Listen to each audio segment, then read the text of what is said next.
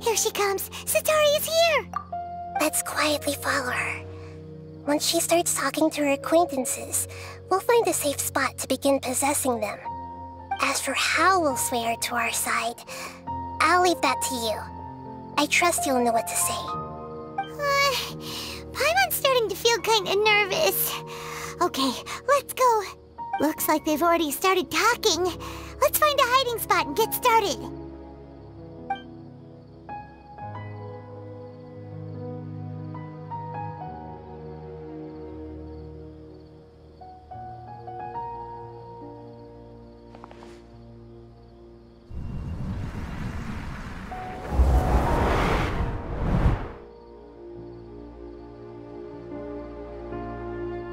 That's right. You really can't force anything when it comes to love.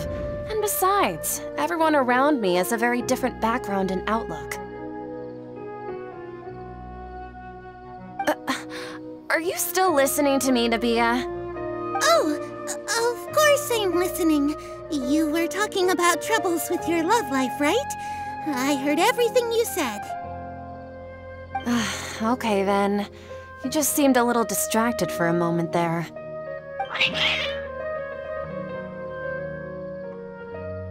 Strange.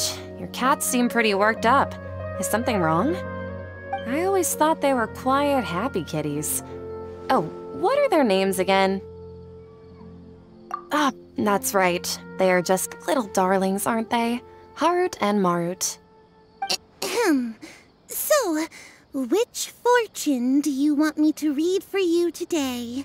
You must have come for another echo of the divine voice of wisdom. Hmm. I'd like to get another reading on my love prospects, but to be perfectly honest with you, I feel like I've been a real mess recently. A mess? Well, um, could you do a reading on how long it'll take me to finish my current project at work? I really just want to get it over with. I hear you. No problem at all. Uh, the gods will reveal the truth. Um...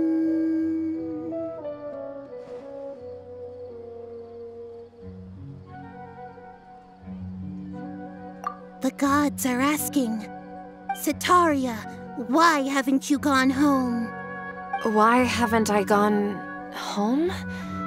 Do the gods really know everything I've been thinking about? Setaria, why don't you just go home? It's a demand now instead of a question. Uh, the gods seem to be truly upset. Uh, uh, I'm sorry. I know I failed the gods. Please pass on my most sincere apologies and ask for their divine forgiveness. And, if I may ask, Nabia, is there a specific god who's speaking to you right now?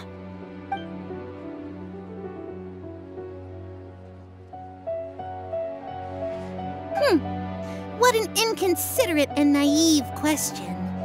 The god who is speaking to me is, of course, the wisest and mightiest of all, the Scarlet King. The S Scarlet King? No wonder he would make such a demand of me. Oh, wait a second. The Scarlet King passed away a long time ago.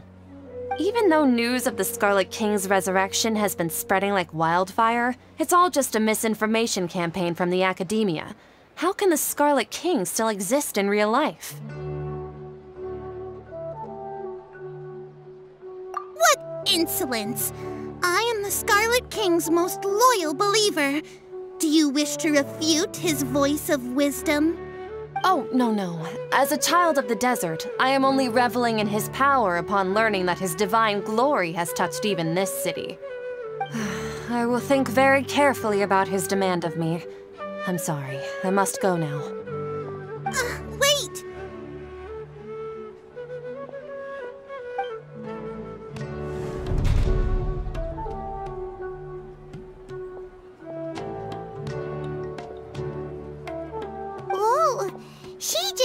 Off in a hurry. She looked pretty upset, too. Well done. Setaria didn't seem to suspect anything amiss. To have something she's been trying desperately to avoid show up out of nowhere and berate her, that must have shaken her to the core. Nahida. It seems like you understand human emotions really well after all. All I know are some abstract Haravatat theories. And in any my time with you has shown a lot of them to be utterly useless. I'm still trying to make sense of everything. Anyway, enough of that. Let's hurry and catch up to Setaria. He's out of games now, right on cue. Let's get ready to possess him right away!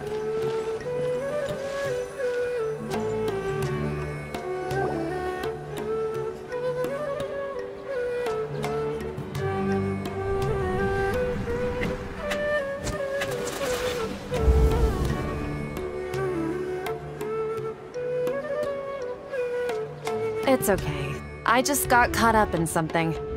Oh, actually, didn't you ask me to help you look for work? What kind of work were you looking for again? Oh, right. Your old man's craft. How could I forget? Speaking of, how's he doing? Is he feeling any better?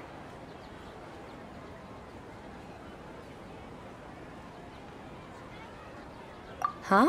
Wasn't he nursing a leg injury? If I recall correctly, his strong arms had always been his pride and joy. Uh, he sprained his arm a while back while trying to show off his strength. I thought you'd heard. Actually, while we're talking about him, is he still living in Port Ormos? Yeah, he's been retired there for a while. If you could find the time, please write him a letter. Please pass on that recently, faith in the Scarlet King has taken root in Port Ormos and has begun to spread across Sumeru.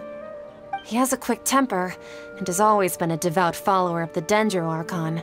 I don't want him to get into a fight with those Scarlet King believers because of a difference in beliefs. Oh? So, who are you siding with in all of this? The Academia or the Scarlet King? Uh, I... I'm so jealous of you. You were born a child of the desert. Yet you chose to betray the Scarlet King, and now you spend all your time with those crooks from the Academia. Akeem, you don't mean you've also become a believer of the Scarlet King? What's so strange about becoming a believer of the wise Scarlet King? In fact, aren't you the strange one? The one who still can't pick a side? C can't pick a side? Me? Be so good at this! You really zeroed in on the issue and put it right in front of her. It might feel a bit overwhelming for Setaria. But once everything is over, I'll be sure to pay her a visit to her mind and explain everything. Anyway, let's keep going.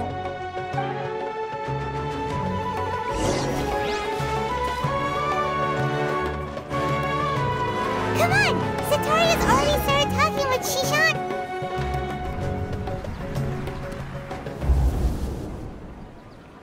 So, Shishan, have you noticed anything weird in the city lately? Like, as if someone was trying to preach to you about something?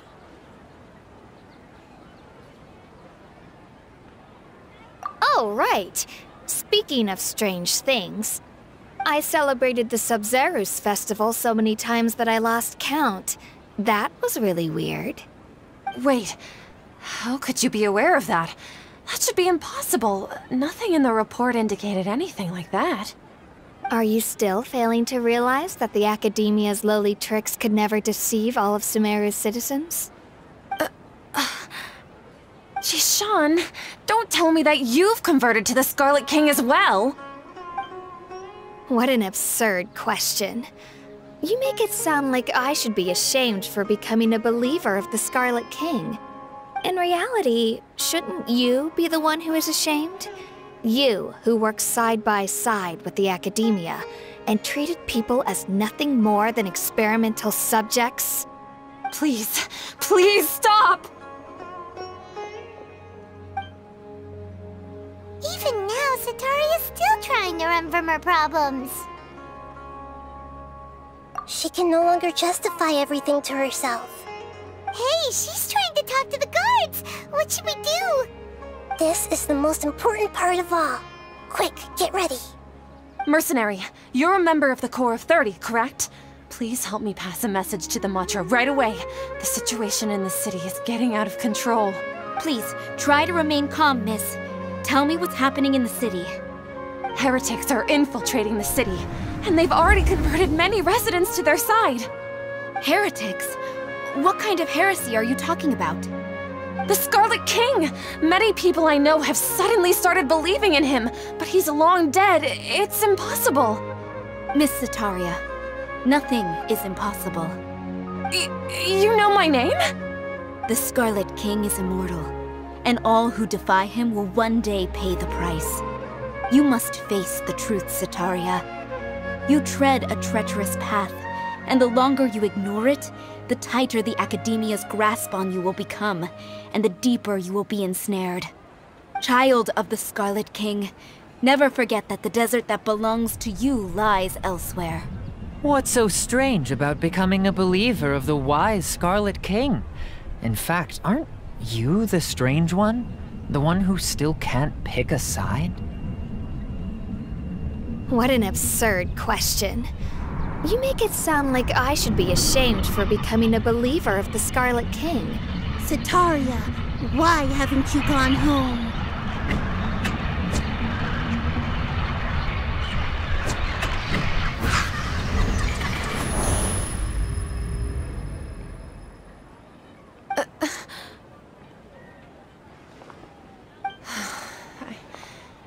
Seems that no matter where I run, I only keep finding more believers of the Scarlet King. I have to say, this is a familiar feeling. I've also been running from my guilt this whole time. Guilt over my part in the Sage's plans, and from ignoring the letters from the children of my homeland. But no matter how much I may try to ignore or get rid of it, my guilt always comes back. You won't necessarily lose your research opportunities by facing the truth. Besides, did you really want to conduct your research while carrying such heavy feelings of guilt? How do you know me so well? Are you truly just a believer of the Scarlet King? Or are you the god himself? That's not important. The important thing is to pass judgment on the Academia and its sages, and to correct their mistakes. If you could provide some assistance in this matter, perhaps it could serve as a form of atonement. I've actually never believed in the gods, but I've always believed in serendipity. Your appearance must be a fated opportunity for me to get out of this wretched situation. Please tell me, what can I do for you? How much do you know about the Sage's current activities? I was just one of the designers for the masked dream harvest scheme, which is what happened around the Sabzeruz festival. But I know very little about the full scope of the overall project. I'd assume that only staff with the highest clearance would have access to those confidential documents. I've just been working to meet the Grand Sage's specified requirements. However, there's something that's been really bothering me. I heard that a scholar who was previously expelled has returned to the city, and even the sages are still quite wary of him. To fight against the Academia, we will need to figure out the nature and the purpose of their work. Is there a way for us to get access to the confidential documents you mentioned? It should be possible if we're willing to take some risks. After all, I'm an assistant to the Grand Sage, and I've been working on many tasks outside of the project. One thing, though, I won't be able to transfer the documents to you through the Akasha once I get my hands on them. The Sages have always closely monitored all activities within the Akasha. Um, let me see... Uh, let's use the most primitive method. Send someone to pick up the documents tomorrow evening at the Academia entrance. The Academia entrance. Wouldn't that be too conspicuous? Don't worry about that. I assure you, this won't be a trap. I'm only suggesting this location because it'll draw more scrutiny for me to leave the Academia again. It'll be safest for me to distract the guards long enough to hand you the documents. Alright, I trust you. So, uh, if I were to successfully complete this task, would it mean I've atoned for my wrongdoings? Um, that'll depend on the judgment of the Dendro Archon. The Dendro Archon. That's right. Her people are the ones we have endangered. As the God of Wisdom, she's also the one responsible for judging and guiding the scholars. Maybe it's time for me to find a god to believe in. Just as Nahida predicted, we've managed to bring Setaria to our side! The Traveler's execution was ingenious. He's the one who deserves all the praise. Well, now that we've made plans to meet again tomorrow evening, all we can do is pray for Setaria's mission to go off without a hitch. Pray? But if we're going to pray to the gods, aren't we just praying to you? God of wisdom and guardian of the scholars? No, no. The truth is the true guardian of scholars. I've always believed that. Anyway, let's meet again tomorrow evening at the Adventurers Guild.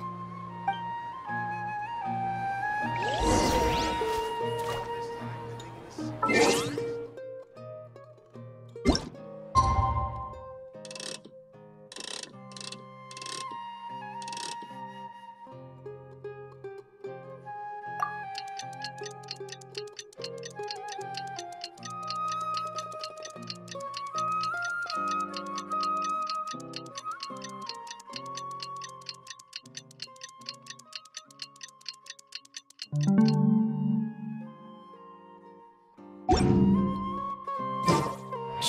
I'll play you another tune, but it'll cost you an apple. Catherine, we're here!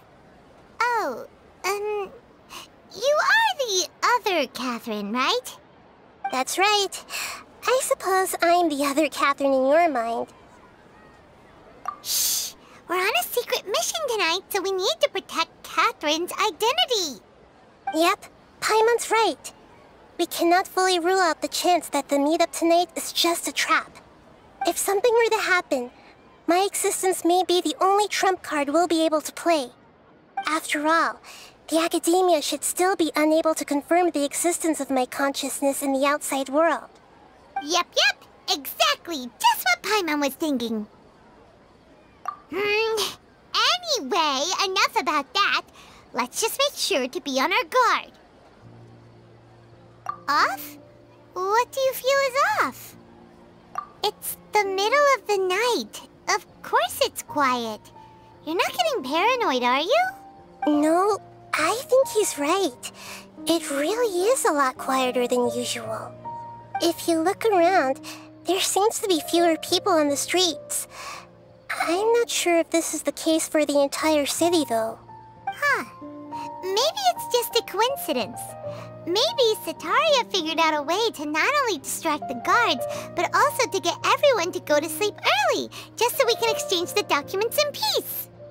I also can't quite figure out why things feel a little off. But now that we're here, let's go ahead and meet her as we planned. Well, regardless, as long as you're here with us, Paimon feels a little safer.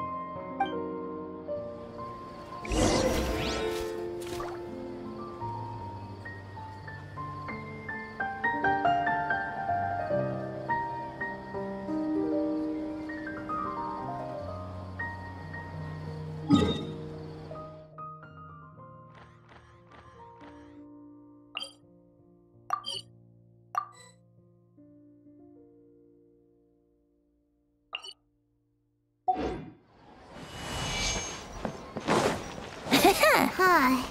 There really aren't many people out right now. Let's hope it'll be this quiet in front of the Academia, and that Setaria managed to distract all the guards.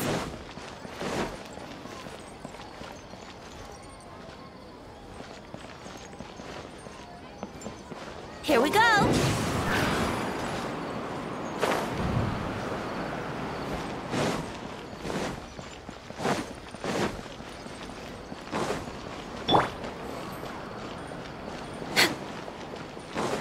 On the agenda.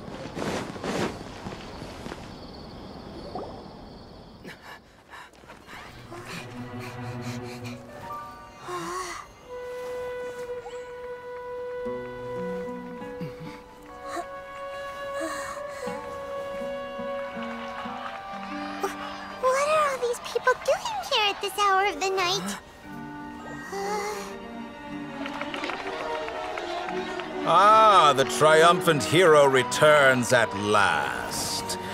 And to a rather spectacular welcome, even if I do say so myself. You're the outcast, expelled from the academia. Indeed I am. Although these days they tend to call me the Doctor.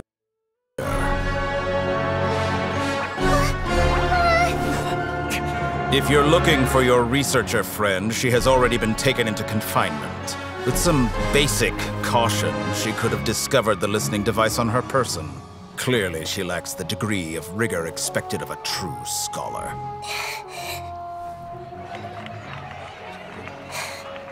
The people of Sumeru City. What have you done to them? I simply made some minor adjustments to their Akasha terminals. Now they can deposit information directly into the subconscious. As you can see, all these lovely people now believe this traveler is a hero who has just saved the world. My experiment is a success. And now it seems they can no longer hold back their sheer adoration. Oh no, what should we do? These are all just regular people. Leave now. You need to get out of here. What? That guy's a Fatui Harbinger! We can't just leave you here! Nor can I abandon the people of Sumeru!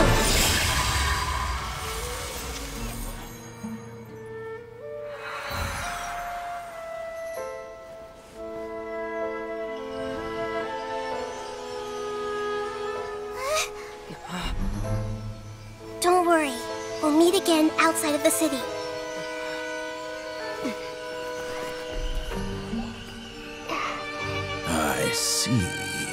You appear to have overridden their mental faculties with your own consciousness. To possess such a powerful mind, you must be the God of Wisdom.